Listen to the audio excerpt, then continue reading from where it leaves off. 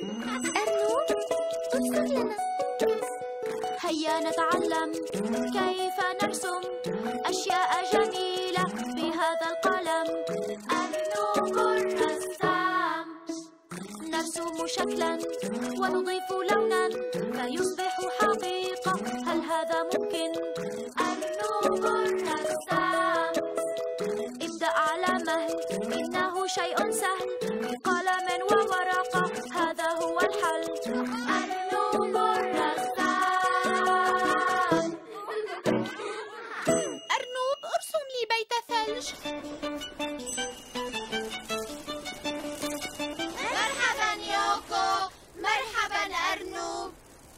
أصدقائي ماذا تقولين يوكو؟ أقول الجو بارد آه. هاي من فعل هذا؟ أنا الدب القطبي مرحبا سيد دب؟ أحتمي من العاصفة الثلجية يا أصدقائي. عاصفة؟ ما العاصفة الثلجية؟ ألا تعرفين يا يوكو إنها ريح قوية وباردة وتحمل تحمل ثلجا. أحسنتم يا أصدقاء ويجب أن تحموا أنفسكم. مثلي. هذا ليس كافيا يوكو. سيد دب ليس مجددا. لم أنتهي بعد. هاي الرياح وصلت العاصفة. فلنختبئ في ملجئي لا ما هذا؟ لقد انهار ملجئي يا للأسف. إذا يجب أن نرحل قبل أن نتجمد. انتظري يوكو عندي فكرة. سنبني ملجأ من الثلج. ملجأ من الثلج؟ سنشعر ببرد مضاعف. لا يوكو. سنرسم بيت الثلج. إنه ملجأ يستخدمه الأسكيمو ليحميهم من البرد هل ترغبون في رسم بيت من ثلج؟ نعم بالتأكيد لرسم بيت من ثلج أبدأ برسم نصفي دائرة كهاتين أرسم خطا مستقيما وآخر منحنيا إلى الأسفل ثم الأرضية ها؟ ما هذا؟ هذا مدخل بيت الثلج. بعدها أرسم من فوق المدخل نصف دائرة.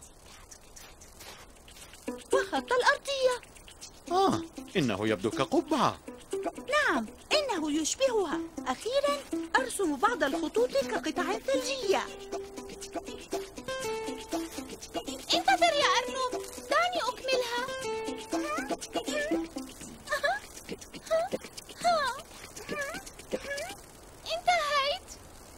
يجب علينا أن نلونه.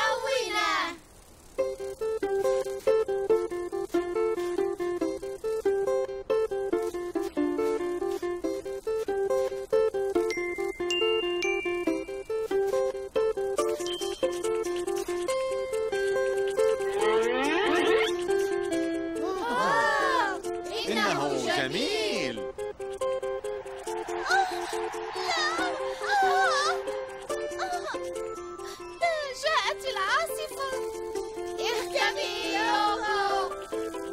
سأدخل أنا أولا لحظة هذا رهيب لا يمكنني الدخول يا إلهي اخرج يا سيد دب لا لا أستطيع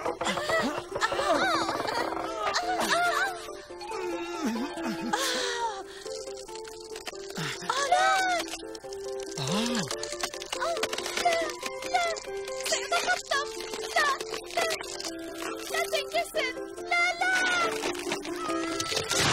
ولكن أين الملجأ؟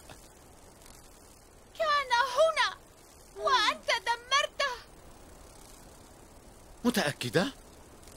أرنوب ما الذي سنفعله الآن؟ لا تقلقي يوكو سأرسم مجددا لترسموا بيت الثلج ابدأوا بالمدخل أرسموا نصفي دائرة واحدة فوق الأخرى ثم خطا مستقيما وآخر منحنيا. وارسموا الأرضية. من فوق المدخل ارسموا نصف دائرة ثم خطا للأرضية. كدنا ننتهي. ارسموا كثيرا من الخطوط للقطع الثلجية.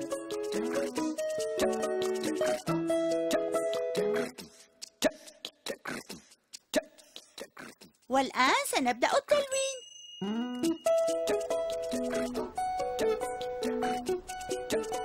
انظروا لقد عاد. سيد دب هذا واحد آخر. وهو كبير ويتسع لنا جميعا. هاي هل رأيتم؟ يمكنني الدخول والخروج.